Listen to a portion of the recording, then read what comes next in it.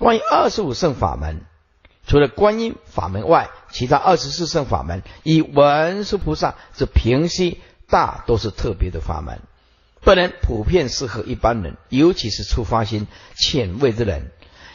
但是也有颇有参考启发的功用，例如笔者对于必定切不错之深处法门，以及大势至菩萨之净念相继法门，即深受好处，颇有一些体验。在这依法而言，发菩提心者，应法门无量誓愿学，又诸菩萨啊，以法通达之后，一皆发心等修学修遍学一切法，变成无量法门，以广资量。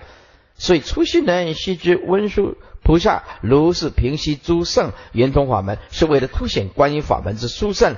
但发大心之行人，不可以彼等诸圣法门忘其贬义之心，仍需等心尊重修学乃至弘扬。在座诸位还是要强调，你要尊重每一个法师，包括居士，尊重每一间道场的道风，尊重八大宗派，任何一个宗派。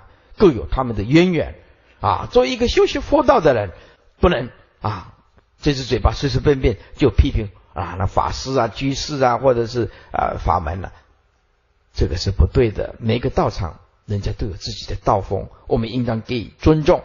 一草一木都有它生存的空间，人应当互相尊重，而且人类是生而平等，更何况我们是修学啊。佛道的人，修习佛道的人，了解世法平等，无有高下啊。所以在这里补充底下说，复次，中度禅门中有所谓的公案者，当也如是看待。那些公案都是前代祖师大德师徒之间，或者是三智士与参学者之间应激教学、开示误入的案例。因也是属于特殊的个案，然皆颇具参考的价值。但也有因为那些大都是很特殊的案例、特殊的善知识、特殊的参学者，在特殊的环境之下，以非常特殊的教法，而参学者得以误入的例子。因此，依法而言，也非一般人可以直接依行修学的。虽然如是，但是前人出公案对后人还是有很大的启发性以及参考价值。但如果要完全一笔而修，则有很多困难啊！学习他的精神和原则则可以，便是教学最好的方法。